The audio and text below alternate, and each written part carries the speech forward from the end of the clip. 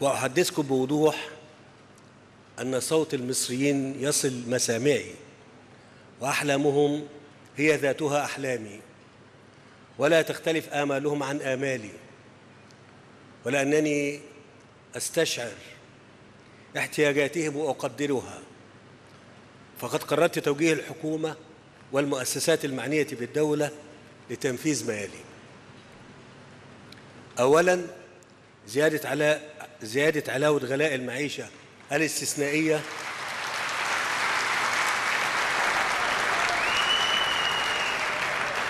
لتصبح 600 جنيه بدلا من 300 لكافة العاملين بالجهاز الإداري للدولة والهيئات الاقتصادية وشركات قطاع الأعمال والقطاع العام. ثانيا زيادة الحد الأدنى الإجمالي للدخل للدرجة السادسة ليصبح 4000 جنيه بدلا من 3500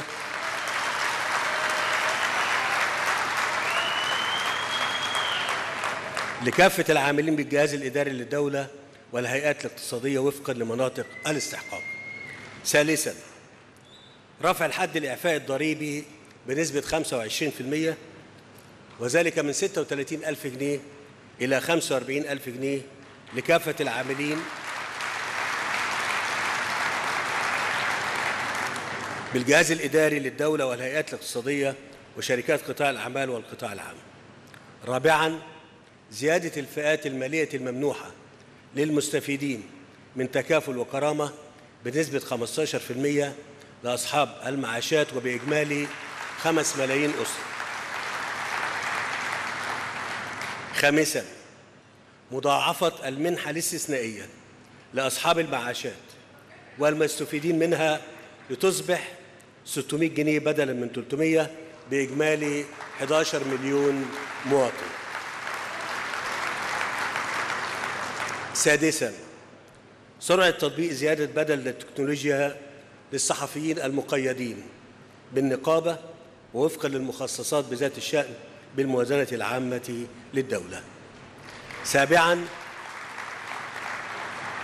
قيام البنك الزراعي المصري بإطلاق مبادرة للتخفيف من كاهل للتخفيف عن كاهل صغار الفلاحين والمزارعين من الأفراد الطبيعيين المتعثرين مع البنك قبل أول يناير 2022